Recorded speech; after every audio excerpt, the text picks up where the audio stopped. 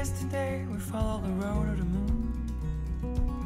We drove all day towards the coast.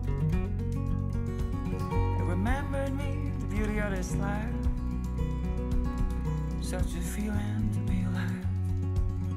A salty breeze in my lungs. And back to where I'm from. A salty breeze in my